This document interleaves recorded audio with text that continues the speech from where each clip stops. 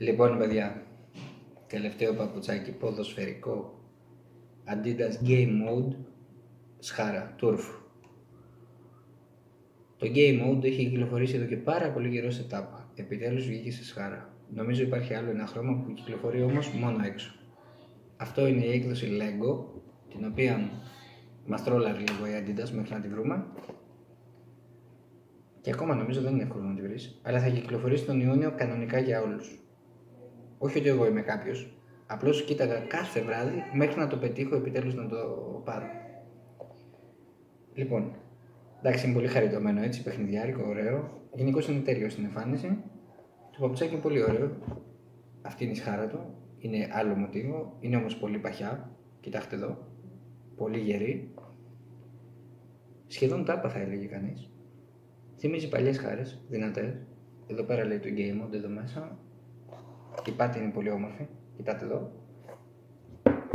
Και εδώ λέει Game Mode. Πολύ ωραίο. Πάρα πολύ ωραίο. Έτσι να βγάζουν. Εδώ πίσω Adidas, Lego, βλέπετε τι ωραία που το έχουν κάνει. Και από πάνω να πάρετε μια ιδέα πώς είναι. Λοιπόν το παπούτσι αυτό η ιδιαιτερότητά του είναι ότι έχει το Hybrid Touch το οποίο χρησιμοποιούταν στα παλιά κορυφαία παπούτσια. Ώρες ώρες φοράς και λες τα παλιά παπούτσια είναι ωραία και τα λοιπά. Μετά λες ναι, οι νέες τεχνολογίες είναι καλύτερες. Τα, τα παλιά παπούτσια είναι καλύτερα σαν, σαν σύνολο. Σαν τεχνολογία δεν θα το λέω. Εδώ είναι ωραίο. Είναι ένα στην ουσία, επειδή φαίνεται απλό, θηνιάρικο, δεν είναι. Όλο το υλικό του, όλο το συνθετικό του είναι πολύ καλό αυτό το hybrid touch, συνθετικό. Είναι γερό, είναι ενισχυμένο κατά κάποιο τρόπο, γλυκό και μαλακό. Δεν είναι το συνθετικό των πιο φθηνών ούτε τον Academy, ούτε τα τελεία 3. Είναι ανώτερο. Έτσι. Και επειδή είναι ειδική έκδοση, βγάλανε μία τιμή στα 100, το οποίο επειδή δεν έχει εκδόσεις και αναγκαστήκαν να το βάλουν έτσι. Και επειδή έχει παλιά τεχνολογία και καλά. Αν σας πω ότι αυτό νικάει πολλά σημερινά, αντιστοίχως όμως χάνει από πολλά, γιατί τα κορυφαία δεν τα νικάει. Νικάει τα φθηνά μέχρι τα μεσαία τα νικάει όλα.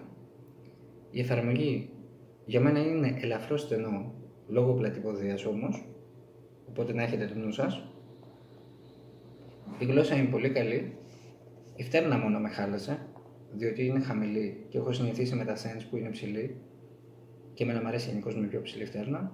Με χάλασε, θα μπορούσε να είναι πιο ψηλή κατά τη γνώμη μου, διότι το έχουν ανεβάσει αυτό σαν σχέδιο.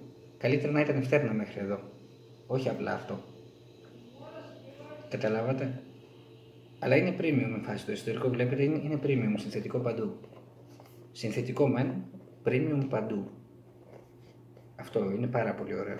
Δηλαδή, αν το σκέφτεστε, μην, μην το φοβάστε καθόλου. Γιατί και εγώ το φοβόμουν, νόμιζα ότι θα είναι λίγο μουφιά. Αλλά καμία σχέση. Καμία με καμία σχέση. Πάρα πολύ ωραίο. Έχει και αντικρατασμική αυτό. Την EVA την απλή, αλλά έχει. Έτσι. Υποστήριξη καμάρα, νομίζω έχει. Μου φαίνεται σαν να έχει λιγάκι. Γενικώ η αίσθηση στα πόδια είναι πολύ καλή, είναι λίγο old school, αλλά αξίζει. Σίγουρα μπαίνει στη συλλογή μου και πιστεύω ότι θα σας αρέσει για πολλούς λόγους και μόνο που δείχνει την παιδικότητα νομίζω αξίζει.